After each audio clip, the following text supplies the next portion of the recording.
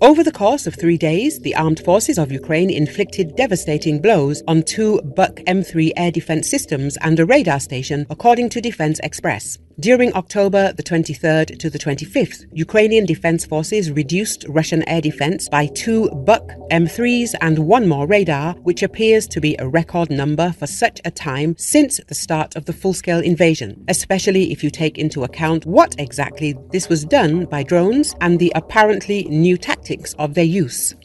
In particular, on October the 23rd, Ukrainian UAV operators of the Unmanned Systems Forces conducted a successful operation to detect and destroy the first installation of the latest modernization of the Russian BUK, and on the night of October the 25th, another BUK M3 complex was detected and eliminated by Ukrainian UAVs, and together with it, the Buk M2 target illumination and guidance radar station 9C36 air defense system Buk M2 was included in the destruction kit.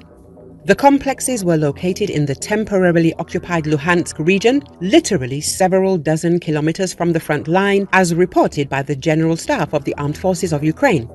It should be noted that the Ukrainian drone attack tactic has proven to be excellent value for money. Imagine a Ukrainian multi-copter bomber approaching an enemy position and dropping $500 worth of munitions on the latest multi-million dollar Russian air defense system.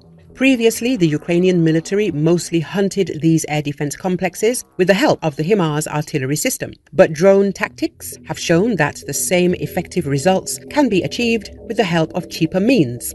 The General Staff emphasizes that operations to eliminate anti aircraft systems of the Russian Federation will continue, which will open up the possibility of hitting enemy targets both on the line of combat and in the rear. The Buk M3 is a brand new Russian air defense system. It uses new missiles and has advanced electronic components. It has much improved capabilities compared with the older Buk systems.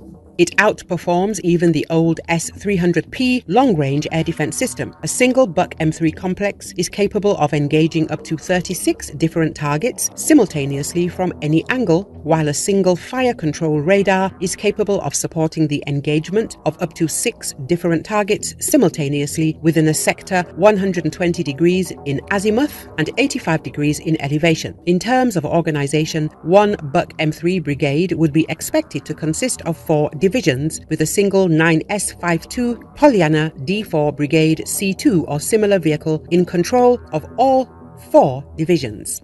One division is typically composed of three batteries, with one command vehicle and one search radar vehicle responsible for three batteries. Each battery would consist of two launch vehicles. These launch vehicles can be either one 9A317M Telar and a 9A316M TEL or two 9A316M TELs and a single 9S36M illumination and guidance radar vehicle.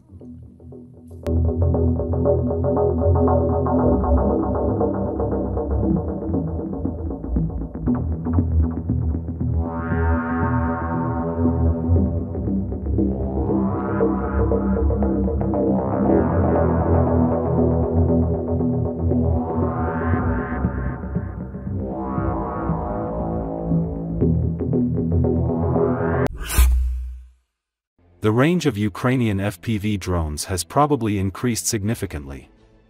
Russian occupiers have recorded their appearance more than 30 kilometers from the front line. A corresponding video was recently published by one of the Russian Z channels.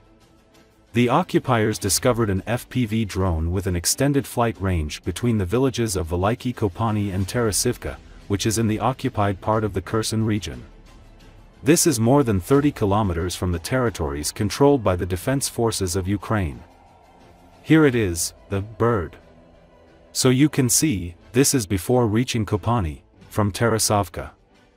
They fly with things like this. And they fly there calmly, said the upset occupier. He showed such an intercepted drone.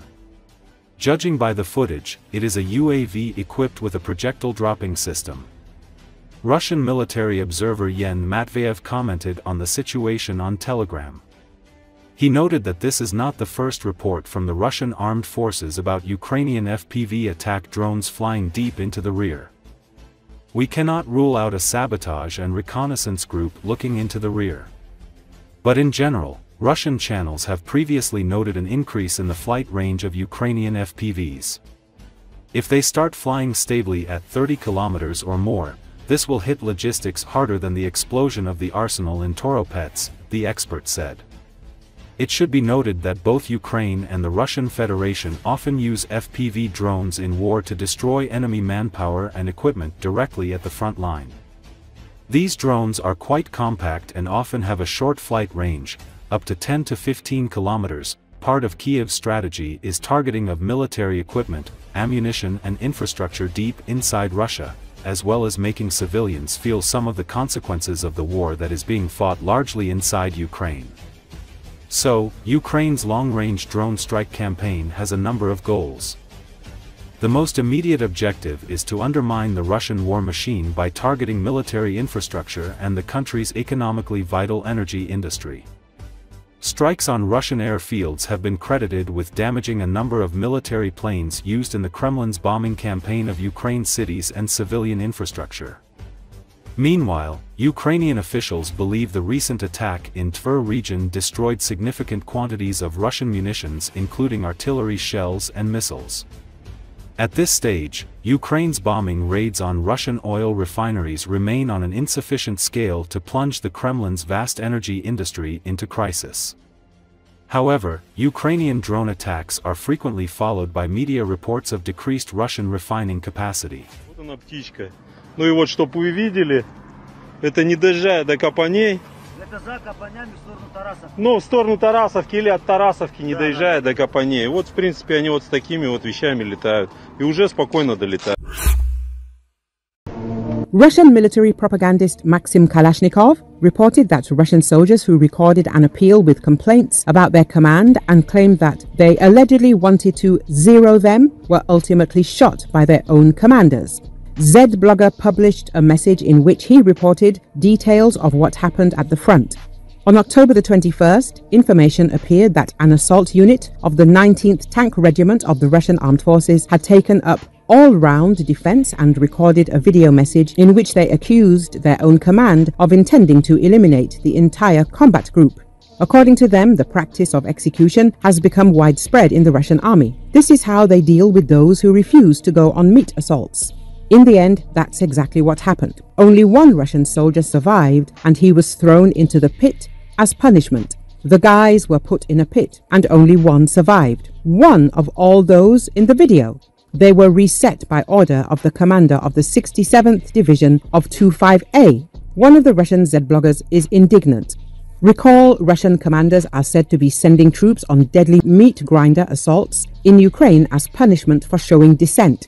The tactic is being used to silence personnel who become disgruntled and means almost certain and very rapid death. According to a media outlet which has been using open sources to monitor the Kremlin's losses, more than 71,000 Russian military personnel have died in the full-scale invasion of Ukraine, according to analysis by Mediazona, BBC News Russian service, and volunteers. As the combined research uses a process of verification, the real toll is likely to be much higher.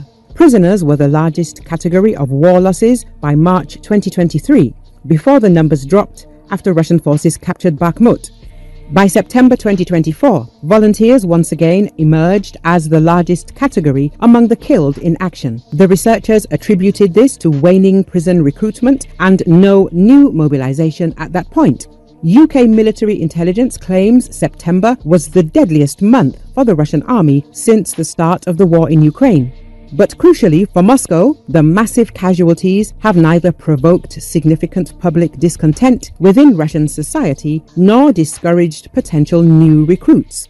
According to Western assessments, Russian casualties in the war so far tally up to 115,000 killed and 500,000 wounded.